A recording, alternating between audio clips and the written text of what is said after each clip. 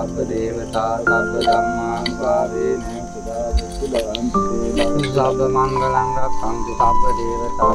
අභිවාදන සීලිස නිච්ඡං වද්දාපචායිනෝ චක්කාරෝ ධම්මා වඩ්ඩන්ති ආයුවන්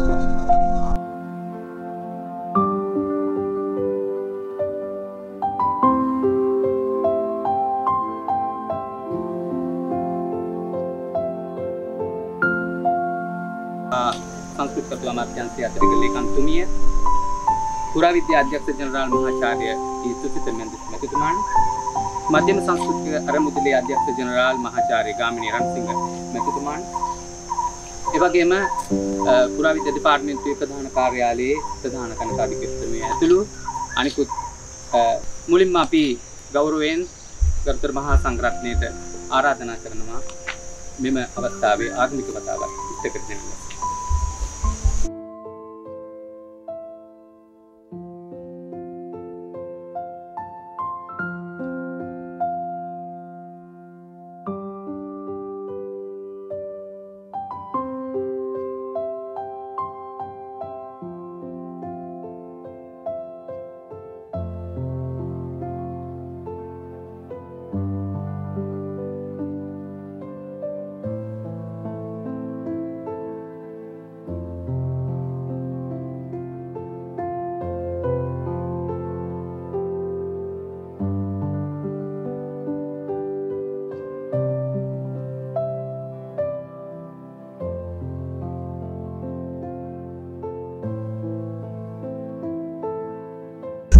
මණ්ඩලයෙන් අවසරයි.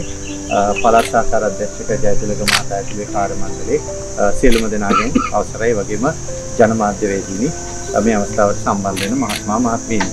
අ, වෙස්සගිරිය කියන්නේ සුවිශේෂ අ, වැදගත්කමක් තියෙන පුරාවිද්‍යා ස්ථානයක් අපේ ලිඛිත ඉතිහාසයේ මේක ස- සඳහන් වෙන්නේ අ, වෛශ්‍ය කුලේ භික්ෂූන් 500ක් දෙනා මේ ස්ථානයේ මහාන වෙච්ච ස්ථානයේ විදිහට තමයි මූලාශ්‍රක සාධක අනුව මේ ස්ථානය හඳුනාගෙන තියෙන්නේ. නමුත් මේකේ තියෙන අ, පුරාවිද්‍යාත්මක වටිනාකම පිළිබඳ අ, පර්යේෂණ පිළිබඳ අපිට තොරතුරු හොයාගෙන යද්දී 2006 අවුරුද්දේ මේ ස්ථානයේ අපි පර්යේෂණ කැණීම් රාශියක් කරා මධ්‍යම සංස්කෘතික අරමුදලේ ජේතවන ව්‍යාපෘතිය විදිහට අ, එතනදී ප්‍රධාන වශයෙන්ම මේ පාරෙන් එහා පැත්තේ තියෙනවා ඊටාම අ, කෙටි ගොඩැල්ලක්.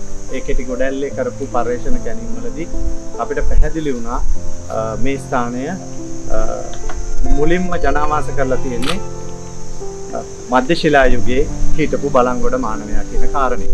ආචාර්ය දරණියගලගේ පර්යේෂණ අනුව අනුරාධපුර ඇතුළු නගරේ කාල නිර්ණ මේ සඳහා යනවා පූර්ව 3900 දක්වා අදින් අවුරුදු 5900ක ඓතිහාසික යුගයකට. අපි විශ්වාස කරනවා ඒ සමයට සමකාලීනව මේ ස්ථානයේ ප්‍රාග්ඓතිහාසික ජනාවාස තියෙන්න ඇති.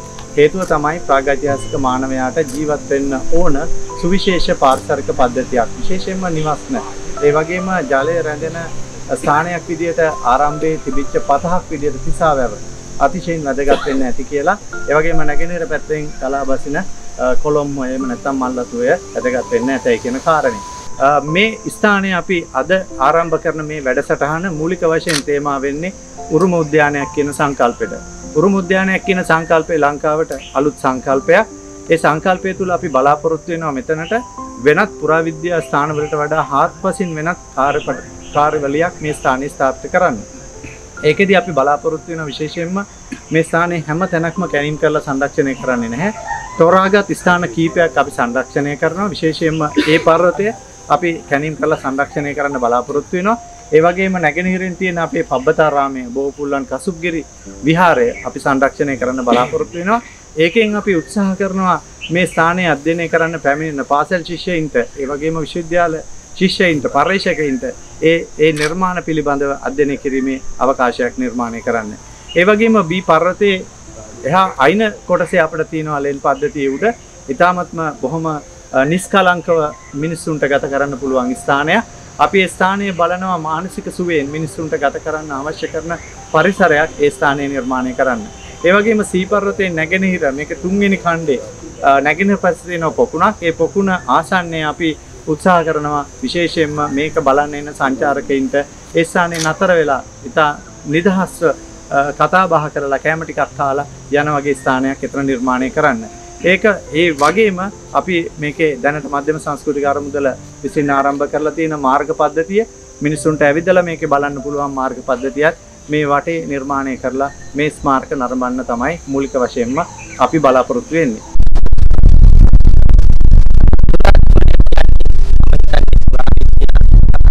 විශේෂම වැදගත් නටබුන් එහෙම නැත්නම් පූජනීය ස්ථාන පිටි ප්‍රදේශය කියලා අපිට හඳුන්වන්න පුළුවන් ශ්‍රී ලංකාවේ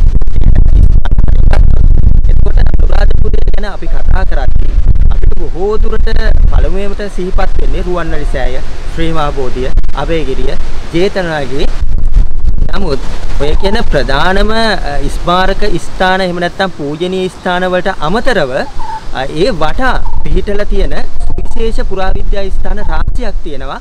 ගොඩක් වෙලාවට ඔය සංචාරකයන්ගේ නැත්නම් බෞද්ධ බැතිමතුන්ගේ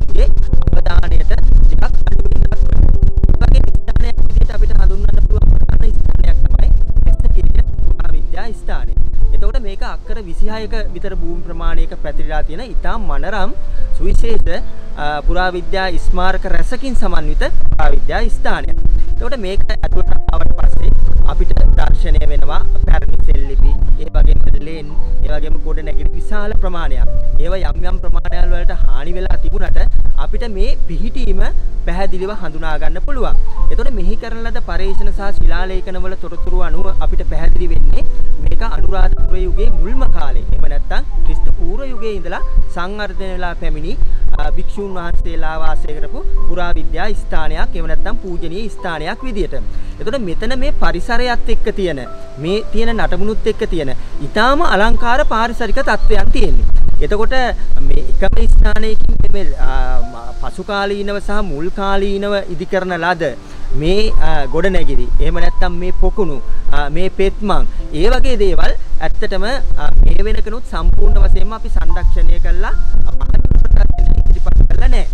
ඒකට ඒක නිසාම ගොඩක් අය වෙස්සකිරිය ළඟින් යන අය මෙතෙන්ට කැම්ප් එකක් කාලා යන්න එන හැරෙන්න මේක බලන්නවත් මේක අධ්‍යයනය කරන්නවත් ගොඩාක් වෙලාවට කටයුතු කළා නැහැ. ඉතින් මේ අලුත් වැඩසටහනත් එක්ක එහෙම නැත්නම් මේ උරුම සංකල්පය කියන එකත් එක්ක උරුම උද්‍යාන සංකල්පය කියන කාරණයක් එක්ක ගත්තොතින් අපි උත්සාහ කරන්නේ සංචාරකයන්ට අවශ්‍ය පහසුකම් ඒ වගේම පුරාවිද්‍යා ස්ථානයේ තියෙන ස්මාරකවල සංරක්ෂණ සහ නඩත්තු කටයුතු ඉතා ප්‍රශස්තනීය මට්ටමකට සිද්ධ කළා සමස්තයක් විදියට මේ භූමියේ සම්පූර්ණ විදහාපෑමක් සිද්ධ කරන්න තමයි හදන්නේ. එතෙන් ඉඳන් ඒ වගේ වැඩසටහනක් තුලදී ජනතාවට මෙතෙන් ඇවිල්ලා මේ පැරණි තිබ්බ ලෙන් ඊට පස්සේ එහෙම නැත්නම් ඒ ශිලාලේඛන එහෙම නැත්නම් මේකේ ඒ ඒවා අධ්‍යයනය කිරීමට ඒ වගේ දේවල් භාවනා කිරීමට එහෙම නැත්නම් ඒගොල්ලන්ගේ මූලික අවශ්‍යතාවයන් සම්පූර්ණ කිරීමට ඒ කියන්නා වූ සංචාරකයෙක් බලාපොරොත්තු වන මූලික අවශ්‍යතාවයන් ටිකත් සම්පූර්ණ කරලා ඔවුන්ගේ අධ්‍යාත්මික අවශ්‍යතාවයනුත් සම්පූර්ණ කරන වැඩසටහනක් විදිහට තමයි අපි මේ වැඩසටහන අධ්‍යක්ෂ ජනරාල්තුමාත් ඒ වගේම අමාත්‍යාංශයත් එකතු වෙලා මේ හෙටින් ආරම්භ කරන වැඩසටහන සූදානම් කරලා තියෙන්නේ.